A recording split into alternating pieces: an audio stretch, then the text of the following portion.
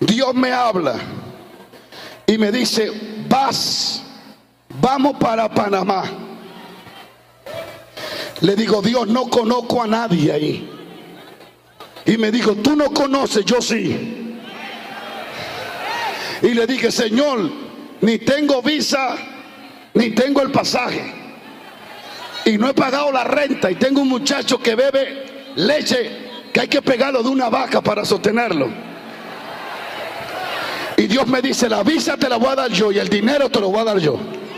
Y me dijo, ahora mismo voy a hablar con una ungida en Holanda, en Holanda, Europa, para que te llame. Terminó Dios de hablar y me entró una llamada. Dios me dijo, ella te va a invitar a Curazao de una campaña. Y allá yo te voy a proveer el dinero para ir a Panamá. Me llama la pastora a los dos minutos y me dice, bendito sea Jehová, te amo, Espíritu de Dios. Me dice, venga a dar una campaña a Curazao. Y le dije, ya Dios me lo dijo. Historia corta, fui a Curazao, prediqué. En eso Dios sanó a alguien que era un narcotraficante años atrás, llamado Elfri. Le quitó una hernia que tenía aquí y movido por Dios me regaló mil dólares. Luego tocó a otro, hizo milagro. Llego a la casa mía. Ya tengo compra para dejársela por un mes a la mujer. Ahí en San Pedro. Hay leche para que el niño beba y que beba leche. Y le digo, voy para el consulado.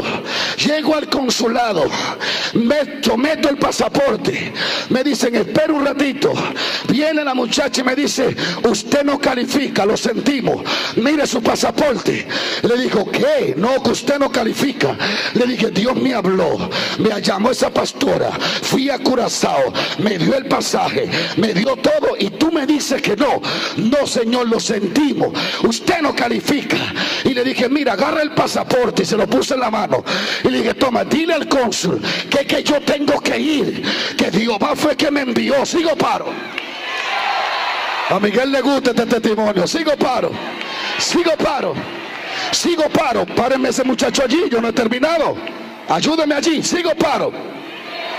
Me dice la mujer que usted no califica.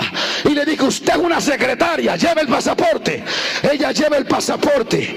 Y se queda un rato y me dice el Señor, hable en lenguas. Para los que no creen hablar en lenguas, la dimensión más fuerte de un cristiano es cuando ora en lenguas.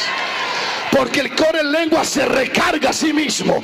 Hay alguien que alaba a Dios y estoy saltando y hablando en lengua en el consulado de Panamá. Oh, cabasaya.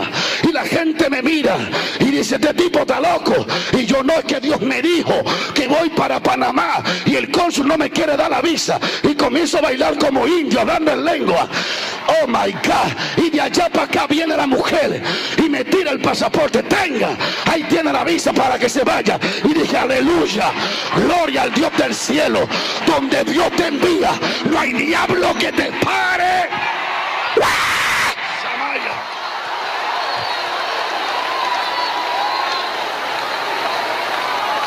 Sigo paro. Me dan la visa. ¿Le sigo el testimonio un chisma? No, lo voy a dejar ahí. Lo voy a dejar ahí. Camarógrafo, sigo. Sigo. Llego a Panamá con 50 dólares. Más nada, pero enviado. Dile a alguien, no tengo casa, pero fui enviado. No conozco a nadie, pero me enviaron. Y cuando Dios envía, cuando Dios te envía, no hay circunstancia que te detenga. No hay crisis económica que te detenga. No hay brujería que te... Oh, no hay diablo.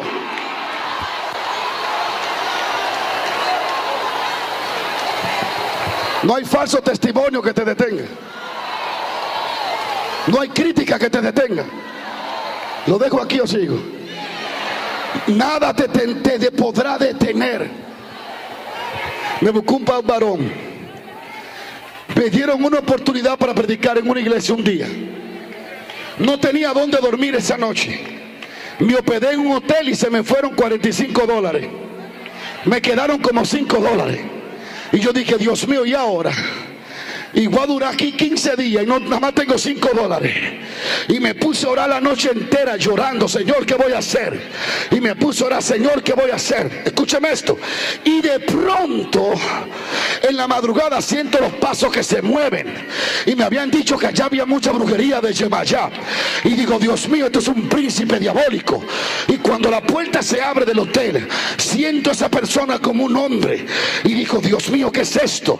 Y se me acerca en el oído y me dice, yo soy el que soy. Lo va a dejar aquí el testimonio. Al otro día Dios lo primero que hizo fue que libertó un loco en la iglesia. Y de ahí corrió la gloria de Dios. Y el poder de Dios se movió por todos lados. Yo vengo a declarar aquí que hay gente con miedo porque no saben cómo van a subsistir.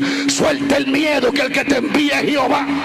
Suelta el miedo que el que te envíe Jehová.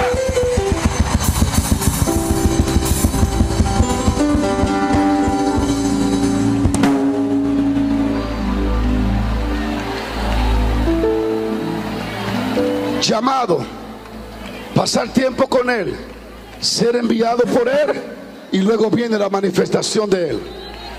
Escuche esto, voy a decir estas dos palabras. Les voy a tomar unos cinco minutos más. ¿Me lo permite? La gente está desconociendo y se está convirtiendo ignorante. Montones de iglesias están ignorante a los resultados del poder de Dios. Y muchos se han refugiado en la fuerza de los hombres. Otros en los políticos para que le dé un blow.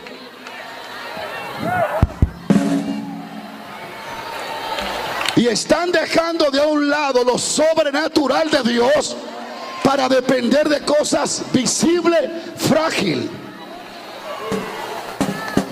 Escucha.